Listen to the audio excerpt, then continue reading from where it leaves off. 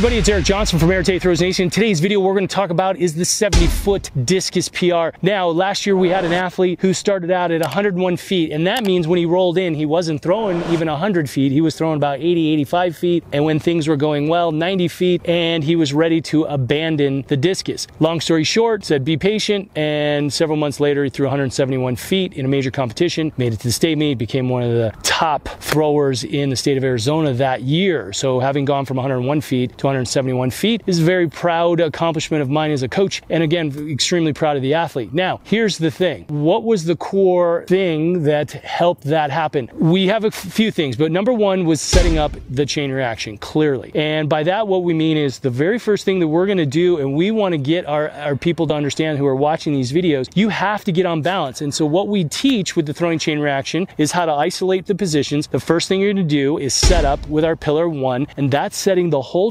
trigger of the whole throw. So any throwing motion we do has a setup, a chain reaction setup. And so pillar one is simply that setup. Now, again, we talk about our core objectives and we set the orbit and we're setting separation and we're doing these different things. And if you would like to know exactly what we do and how we train it in depth, click the link below for the throwing chain reaction system. What we're going to talk about in this video is by setting up that trigger and setting up the proper sequence, we got the athlete on balance. Once you're on balance, learning to throw is so much easier. And that's where we break down our six pillars of the throw. So remember, if you're off balance, one of the core things you're going to do, it's going to be very difficult for you to get better at your throws. And if you're, you're not going to improve five feet or 10 feet, you might get lucky and catch that little throw. But if you want to start hitting that 25, 30, 35, 40 foot type of jumps, balance is most critical. And that's what we set up in our trigger one. So real quick, we're just going to kind of talk about as you demo and as we look at some throwers, you're going to notice the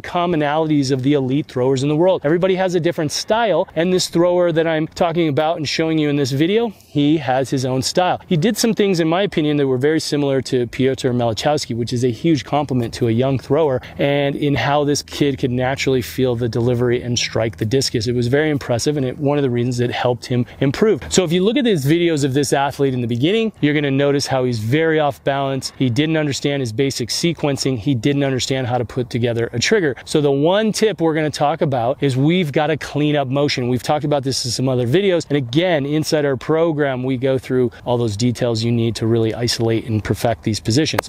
So again, looking at how to get on balance, one of the core simple things was, is controlling the hip and creating that separation stretch reflex component to be able to feel that type of a position. When you're a thrower and you're falling into the throw and everything's here, you're going to fall across the circle. And if you're falling across the circle, you're not going to be able to improve.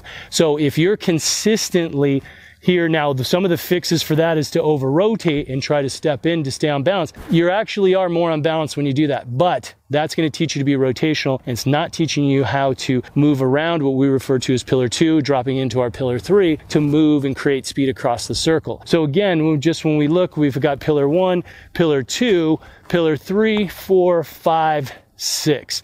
That's how we break down the throw. In each of those pillars, we're going to train position. So what did we do to get 70 feet? Number one was get them on bounce. And number two was start teaching the motor patterns to develop how to move the feet at each pillar, how to move the arms, how to move the upper body, and start to teach the timing and understand that chain reaction philosophy so that you understand that everything and every problem that is occurring in a throw is actually being or happening or occurring as a result of what you did prior to. So this is why our pillar one, this is one of the most undercoached parts of we feel in throwing. So we want you to get that right. Click the link below if you want some information on how to dive into all that stuff and learn more about how the throw works. And you too can pick up those massive distances. 20, 30, 40 feet is pretty standard in our club year in and year out for the last nine years. Remember, get on bounce, learn the throw. Those are going to be the keys to big throws. Thanks so much for watching and we will see you on the next video.